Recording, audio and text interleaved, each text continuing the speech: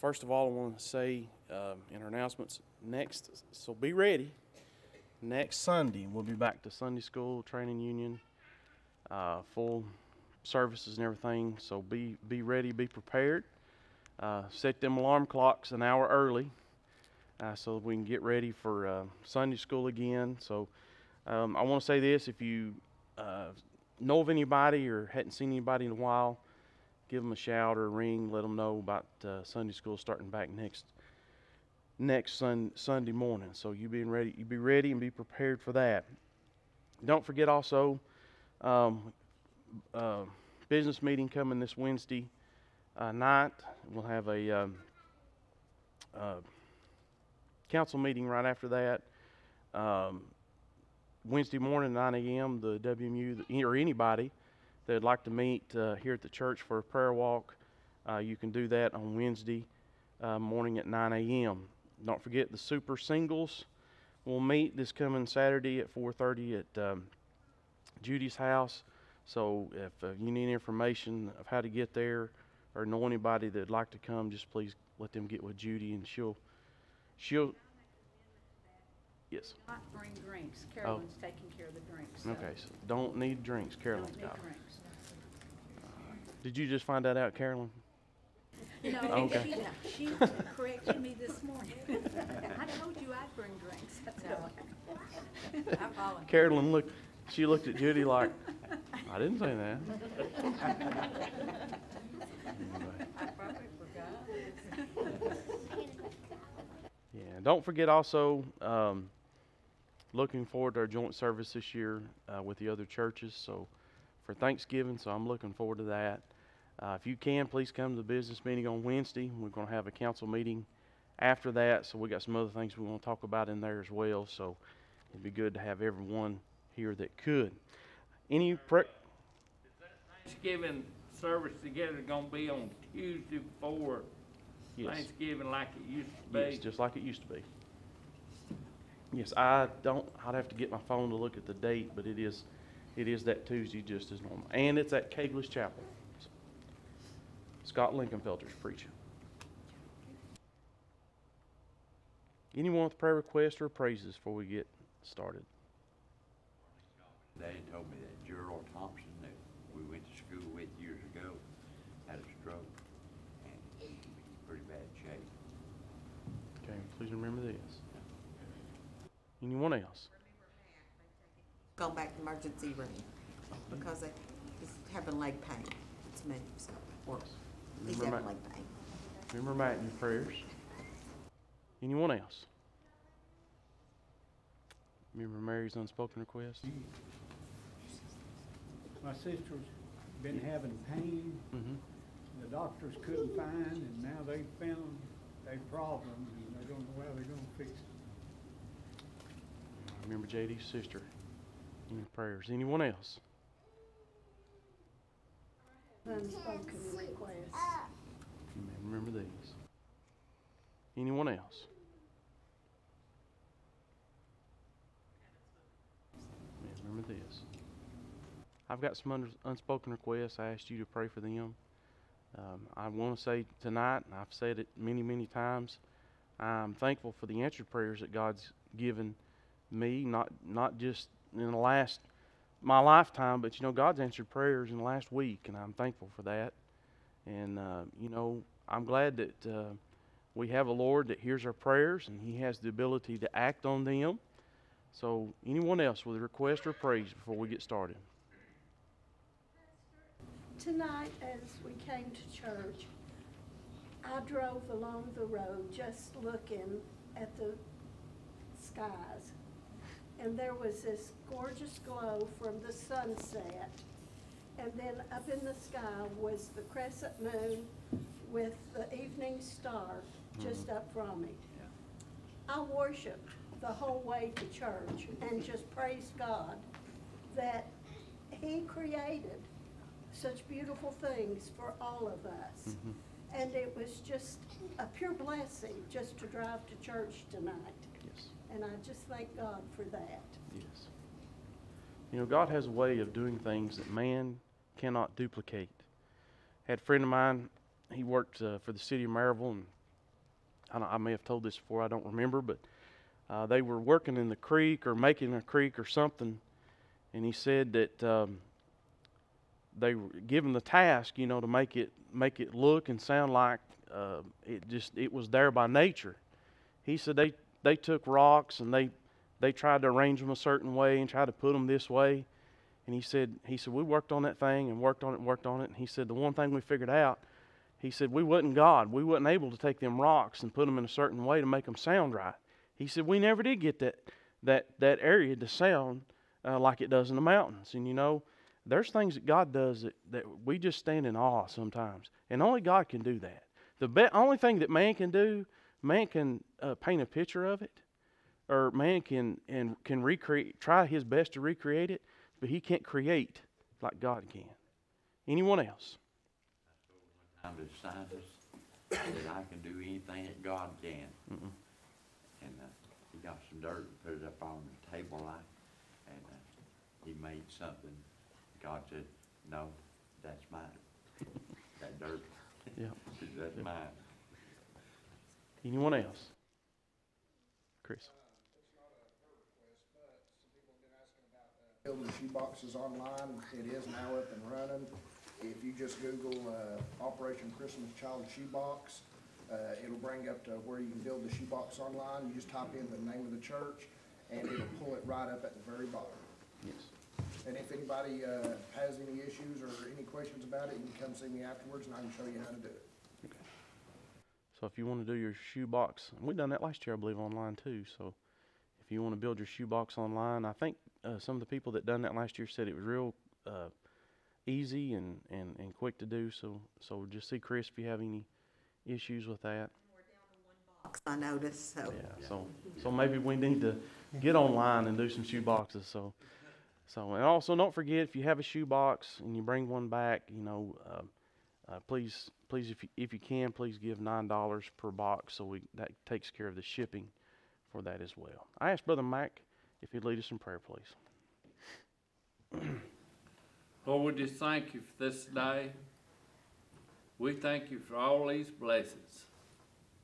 We thank you for the beauty you let us look at and enjoy of your creation. Lord, we just thank you for being able to come to church tonight. And Lord, just help us with this COVID that we'll get over it. And Lord, that our churches will all be back in full force. We ask you to be with Alan tonight. Just give him the words you want us to hear. And Lord, just be with all these requests. All these things we ask in thy name. Amen. If you have your Bibles tonight and you want to follow along with us, we'll be in Romans chapter number 4. Romans chapter 4. So please, if you have your Bibles and you want to follow along, Romans chapter 4 tonight.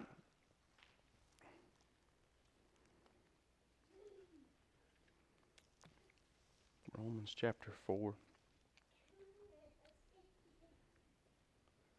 We'll start reading in verse 18 and we'll read down into chapter 5 as well. Romans chapter 4, starting in verse 18. Who against hope believed in hope that he might become the father of many, many nations, according to that which was spoken, so shall thy seed be. And being not weak in faith, he considered not his own body now dead, when he was uh, about a hundred years old neither yet the, the deadness of Sarah's womb. He staggered not at the promise of God through the unbelief, but was strong in faith, giving glory to God, and being fully persuaded that what he had promised, he was also he was sorry, he was able also to perform. And therefore it was imputed to him for righteousness. Now it was not written in uh, for his sake alone, for it was imputed to him. But for us also, uh, to whom it shall be imputed, if we've believed on him that raised up Jesus, our Lord, from the dead, who, had, who was delivered for our offenses and was raised again for our justification. I want you to notice this, this next verse. Therefore, being justified by faith, we have peace with God through our Lord Jesus Christ, by whom also we have access by faith into this grace wherein we stand and rejoice in hope of the glory of God. Let us pray. Dear my Father, we come to you in prayer tonight, thanking you, Lord, for your blessings. Thanking you, Lord, for the answered prayers. Thank you, Lord, for each and every person, every family, every home, God, that's represented here tonight. Lord, as we pray, we uh, Lord, we just pray that if there's uh, anyone, God, that has a need in their life, anyone, uh, Lord, that struggles, anyone that uh, may be lost tonight, uh, Lord, that, that, that in this scripture, Lord, they can find hope, they can find help, that God, that they can find peace. Lord, as we uh, pray tonight, we just pray for this church. We pray, God, for our community, Lord. We pray, God, for so many people, God, that are struggling. Lord, there's so many needs around each and every person and each and every home and each and every family, God, that surround us on a daily basis. God, we pray uh, tonight that if there's someone, God, that's seeking uh, peace or they're seeking, God, help or whatever it may be, Lord, that they would just surrender themselves unto you. Lord, we thank you for everything. In Jesus' name we pray. Amen. Uh, tonight, as we look in the scripture here tonight, uh, our thoughts are really going to come out of chapter uh, 5 and verse 1, but we wanted to go back and read uh, a little bit of out of chapter 4. And uh, chapter 4 is dealing with uh, Abraham and his, um, as it dealt with being justified and his being 100 years old, and, how, and Sarah, her womb that was barren but yet when the Lord touched her, uh, her life, uh, you know, they conceived a child uh, at, a, at an older age. And uh, it talks about uh, uh, this righteousness in verse 22. It says, Therefore it was imputed to him for righteousness. Now, it was not written for his sake alone that it was imputed to him. Uh, and it says, But for us also, to whom it shall uh, be imputed, if we believe on him that raised up Jesus, our Lord, uh, from the dead. Now, uh, tonight, as we look in the scriptures and, uh, and looking at the, uh, what we have read tonight, our thoughts tonight will be this. Uh, it's, it, it's in verse 1. It says, We have peace with God. Now, I want you to think about that for just a moment. That is a uh, that is just a few words that means so much uh, to so many people. Uh, I can remember, um, uh, you know, throughout my life that uh, sometimes when a person uh, gets a bad, I guess what you call bad news from the doctor, or somebody has figured out they don't have long to live, uh, a, a, phrase that gets I get that gets mentioned or used sometimes is somebody will tell or they'll tell you that uh, they are at peace with God. Or if you ever heard somebody uh, give somebody advice in such a time, and they may say this: "You need you need to make peace with God." I, have I've I've witnessed and seen that said. I've witnessed and heard people say that many many times uh, in the ministry. I, there's been many times when uh, you go to someone's house and uh, the, it, it, listen, the outcome does not look good.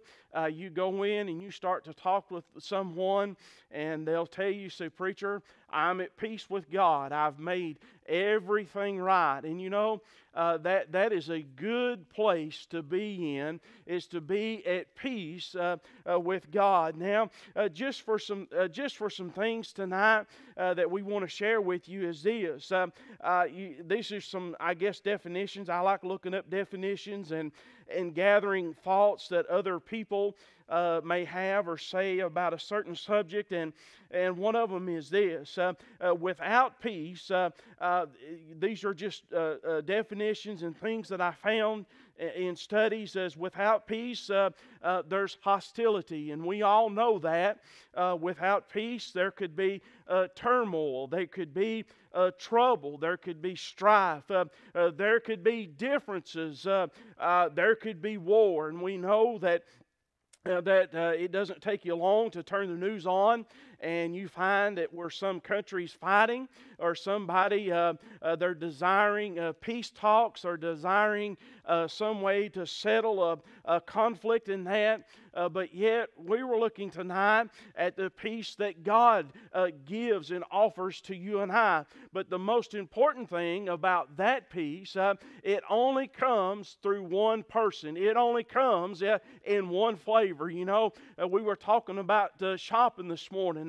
It's amazed at all. Hey, if you've not ever tried to buy ice cream, go into the, the store and look at all those different flavors of ice cream that there is. I mean, they've got everything uh, that, that you could imagine for ice cream. Uh, uh, Kyle brought some home the other day. I believe it was peanut butter and jelly ice cream. I, I've never thought of such a thing. Uh, but listen, uh, when it comes to peace with God, uh, there's only one choice, there's only one flavor. And you know, and you say, Preacher, what is that? It is Jesus Christ. That's the only way that a person can have a true peace in this life. Now, I was thinking about this. I can remember in my own life, uh, uh, before I met Jesus and that, uh, there was a lot of uh, trouble. There was a lot of strife. There was a lot of fear. There was a lot of things uh, uh, going on in my mind and in my heart. But the instant, that moment in time that, that I met Jesus and that, He settled everything.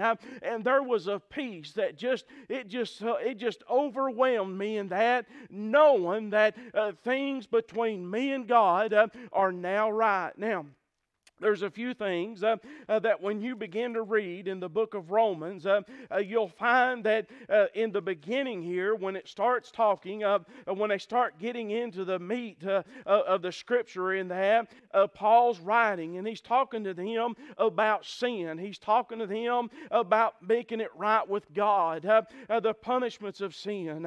but yet, when he gets to chapter 4 and gets into verse 5, he starts talking about being able to have peace with God. Uh, now, think about this for a moment. Uh, a person that has trouble in their life, uh, you say, Preacher, what are they desiring? Uh, uh, they're desiring uh, peace. You talk about a country that's just full of turmoil and full of wars and things. you say, Preacher, what could settle that country? what could get them going in the right direction? it's peace in that. and you say, preacher, how uh, does peace come? Uh, uh, first of all, uh, I was I said this in my prayer. Uh, uh, you know what? When peace comes, a surrender has to happen. and you say, preacher, who are you surrendering to? we're surrendering to the one and only, the true and living God. and now listen. I was thinking about this. Uh, you go back uh, and you read the history of wars, uh, and when you know what, when a country uh, uh, would surrender to the uh, the other country or countries that won, you know what? There was an article that was drawn out, and they would have things in there, declarations of things they could do and things not to do, and these were the conditions of, of peace and surrender, and the surrendering country Uh, uh, their authority in charge uh, uh would sign his name. Uh, and you know what he was doing? he was accepting those terms. and I was thinking about this. I'm glad that not only did I accept the terms of peace with God, but God accepted them as well. you say, Preacher, it's one sided. No, it's two sided. think about this. Turn with me uh, to uh, Romans chapter 1 tonight and verse 18 and notice uh, what Paul says. Uh, he said this uh, uh For the wrath of God uh, is revealed from heaven against all ungodliness and unrighteousness of men uh, who hold the truth in unrighteousness, because that which may be known of God is manifest in them, for God hath showed it unto them. Uh, so we see, uh, uh, first of all, uh, there's a separation between man and God, uh, between uh, mankind and God. And you say, Preacher, what caused that separation? It was sin. It was man's sin. When Adam and Eve sinned in the garden, they caused a separation between their walk and fellowship with God. But you know this uh, God sent His only begotten Son uh, uh, so that we uh, uh, could have peace with God. Uh, and the Bible says, with God uh, uh, through our Lord uh, uh Jesus Christ, uh, by whom also uh, we have access by faith into His grace, wherein we stand and rejoice in the hope of the glory of God. Now think about this: our peace tonight it come at a great cost. We say this, and it's well known around our country. In our country, we are a free nation, uh, and we have a free nation, uh, uh, but it costs thousands and thousands of lives uh, to be a free nation. Uh, men and women died in battles to, pray, to, to pay the price for our freedom tonight. Men and women have served around the world for years and years in wars and serving the country to die for our peace. But when it comes with peace with God, uh, uh, there was only one that could die uh, that would have eternal peace, uh, and that was His Lord, Je- His Son excuse me, uh, the Lord Jesus Christ. Uh, and notice this, uh, I was thinking about uh, uh, what happens uh, when you have peace with God. Uh, uh, you know what? There's many uh, characteristics that fall into that. And you say, Preacher, what do you get? First of all, you get unity. And you know what? It brings back a relationship between man and God. I don't know about you tonight. I, you know what? I'm glad I have this. Uh, I've got a relationship with my wife. Uh, I've got a relationship with my family uh, and my kids. Uh, uh, we have a relationship uh, uh, here in the church, in our church family. Uh, but I'm thankful tonight uh, for that relationship with God because you know um, uh, we're just here for a little bit and then we're gone. Family may leave, a church may leave, uh, somebody could go off somewhere, but God is always right there uh, when you need Him. Uh, uh, think about this uh, uh, there is security of be- having peace with God. Uh, and you say, Preacher, what kind of security is it? Is it an alarm system? Is it a guard? It's much more better than that. It's the Holy Spirit of God. It's Jesus Christ living right with you. You say, Preacher, what else comes with having peace with God?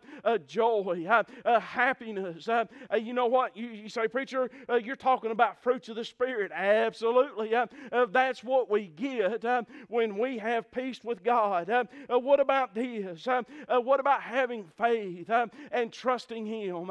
Notice what it says here. He says, being justified by faith, we have peace with God through our Lord Jesus Christ.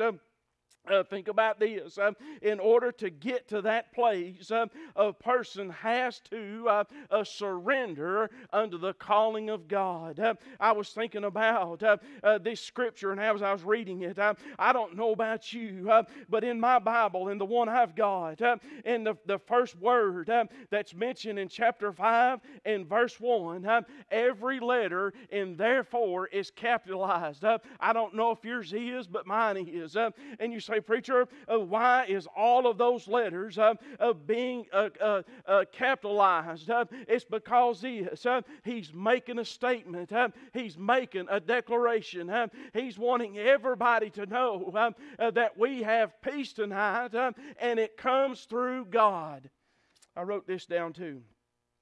The one of the things that comes with peace through God is rest. Is rest. You know, the things of life can get us all turned upside down sometimes. Have you ever noticed that?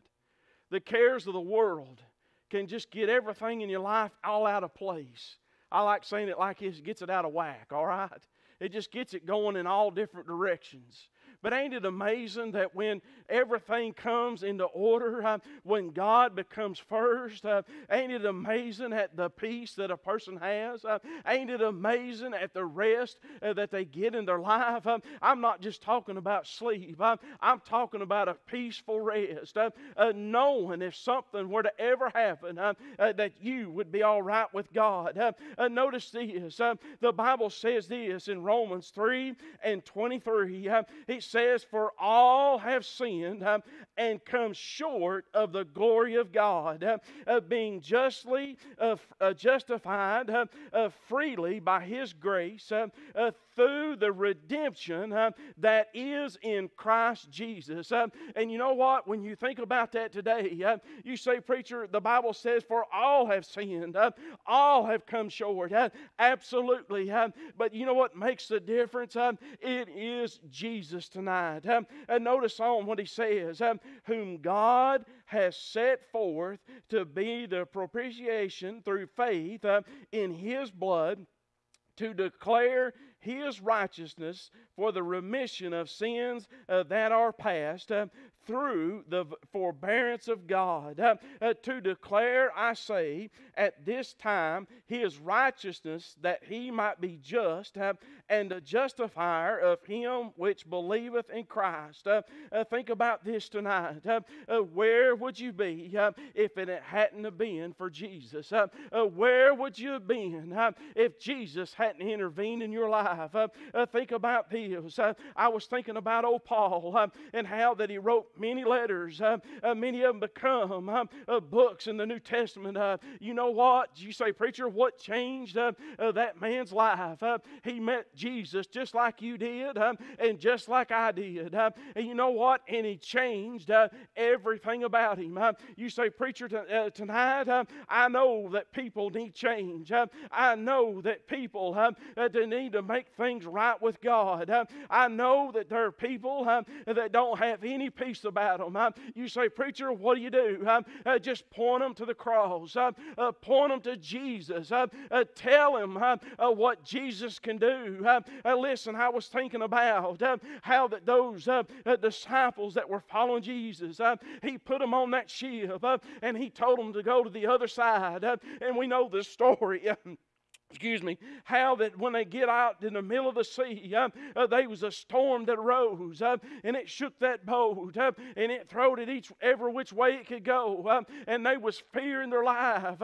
They tried doing everything that they could, but you know what? Uh, Jesus had his eye on them uh, the entire time. Amen. Uh, and you know this life, it seems like every time you turn the TV on, it's bad news. You turn it on at lunch. It's bad news. You turn it on at night, it's more bad news. Uh, listen, uh, Jesus still has his eye on you and I tonight. You know, I don't know when. It's going to be a wonderful day when we can all look back and we get this COVID behind us. Amen. I'm so sick of this stuff. I'm so sick of being told what to do, what not to do, who's right, who's wrong. I just want all that stuff behind us. But do you know that in through all of this that's been going on, I mean, there's been chaos, there's been riots, there's been fights. He's never took his eyes off of his children. His love for you has not ever changed. His care has never changed. And you know what? I know a lot of people uh, in this life, they lose a lot of sleep over bad news. I, I work with people, and you know what? They'll get th- th- these things start happening, and they- they'll lose sleep over over what this one said or what that one said, and they get consumed with all these different things. But I know this: I've got peace with God, and it come through believing, having faith in Jesus Christ. Bobby, you got a song to play for us tonight?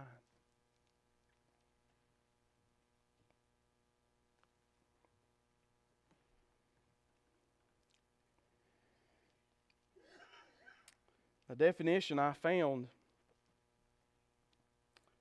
while studying for peace, and it was defined as this taking action to restore a broken situation. You know, the, uh, there can be many different types of broken situations. There can be broken situations in a home, they can be broken situations in relationships, friendships, families. They can be broken relationships in churches. There can be broken relationships on the job. They can be broken relationships in the in school, wherever it may be. But the definition I like one, taking action to restore a broken situation. Now think about this for a minute. Who sinned in the Garden of Eden? It was man. Even though he tried to blame it on the serpent, then he tried to blame it on God. Said, "You know what? You gave me that woman. It's her fault." It was us. It was man. Hmm. Who took the most action to correct it? God. That amazed me when He laid that on my heart. God took the most action to correct a broken situation. Say, preacher, what action did He take? He sent His only begotten Son so that through Him we can have peace with God. And you know what? When you think about that gift that God gave, He gave His very best to fix a broken situation. You know, there's many times had friends, family, co-workers, people you go to church with, and I'm just using this as an example. I'm not I'm not trying to point out or anything or call anybody or anything. It's just it's just an example. But sometimes there's problems within a marriage. Sometimes there's a problem that can't they can't be reconciled. And you say, Preacher, what's happened? Well, there's a broken situation there. Something's happened. In order to reconcile that marriage and bring it back together, there has to be something that's there to restore. And it has to work on two parts. It's not just one sided, it's two parts. So when you think about that as an example, when it comes between us and God, guess what? There's two parts. God has already provided His part, His action in Jesus. The rest is on us. Let's stand tonight Page 396. as we sing. 396.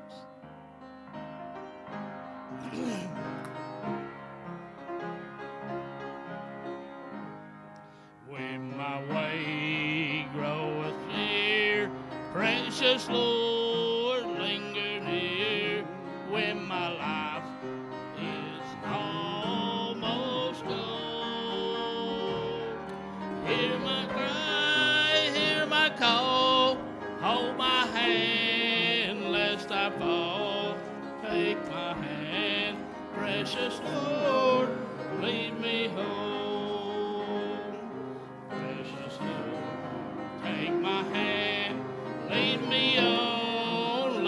Stand. I am tired, I am weak, I am worn. Through the storm, through the night, lead me on to the light. Take my hand, precious Lord, lead me home. Amen. It's been good to be in the Lord's house tonight. It's good to see each and every one of you all out here with us tonight. Thankful uh, that we've got a good place to come and worship the Lord, a good place that, uh, you know, that we can come and get out of the world for just a little bit and take our mind and worries and things off the world and, and just solely put them upon on the Lord and thank Him and praise Him for what He's done. I'm looking forward to next week. I don't know about you. I can't wait for it to get here. Uh, get Sunday school, training union again. Uh, just, you know, get to. I love Sunday school, by the way. And you say, Preacher, why is that? Well, it's where you get to learn. You grow a lot in Sunday school, uh, in the lessons and things that are taught, and you get to share with one another uh, some things as well. So you be in prayer for our Sunday school. You be in prayer for our training union. Pray for our services. And uh, you know what? uh, we need to just pray for the lost, most importantly. So don't ever forget to pray for the lost. Ask Brother Jerry if he dismisses in prayer, please. Our Heavenly Father, we're so thankful for the message that you sent through Alan for us today. We pray, dear God, that we can use it in our everyday life. We pray, dear God, there was a lot of prayer requests that was mentioned tonight. We all need you, Lord, need you all the time, always will. And God, we're so thankful that you'll hear our prayers, dear God. And I pray that you'll keep our hearts in tune so we can hear it.